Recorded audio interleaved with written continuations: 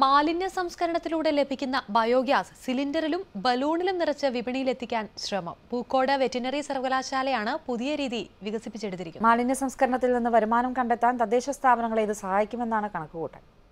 Biogas പ്ലാന്റും അത് വീടുമായി ബന്ധിപ്പിക്കുന്ന കുഴലുകളുമെല്ലാം ഇനി മറക്കാം. പ്ലാന്റിൽ നിന്നുണ്ടാകുന്ന വാതകം ബലൂണുകളിലാക്കി അടുക്കളയിലെത്തിക്കുന്ന പുതിയ സംവിധാനം രൂപപ്പെടുത്തിയിരിക്കുന്നു പൂക്കോട് വെറ്റിനറി സർവകലാശാല.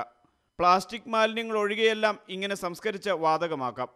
പന്ത്രണ്ട് അറകളുള്ള ടാങ്കിൽ ദ്രാവക രൂപത്തിലാക്കിയ മാലിന്യമിട്ടാൽ പതിമൂന്ന് മണിക്കൂറിനുള്ളിൽ വാതകം എത്തിത്തുടങ്ങും അത് കഴിഞ്ഞ് ഇതിലുണ്ടാവുന്ന ഗ്യാസിൽ നിന്ന് കാർബൺ ഡൈ ഓക്സൈഡ് അതുപോലെ ഹൈഡ്രജൻ സൾഫൈഡ് അതുപോലെ മോയ്സ്ചർ ഇതെല്ലാം റിമൂവ് ചെയ്ത് ഈ കത്തുന്ന വാതകമായ മീഥേൻ മാത്രമാണ് ഈ ഗ്യാസിൽ ഈ ബലൂണിൽ സംഭരിക്കുന്നത്.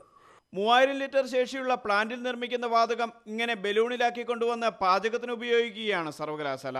വാതകം സിലിണ്ടറിലാക്കി വിപണിയിലെത്തിക്കുന്ന കാര്യവും ഇപ്പോൾ ആലോചിക്കുന്നുണ്ട്.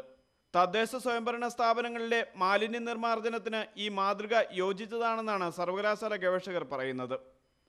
Jason Maniyangad Asianet news Wayanad.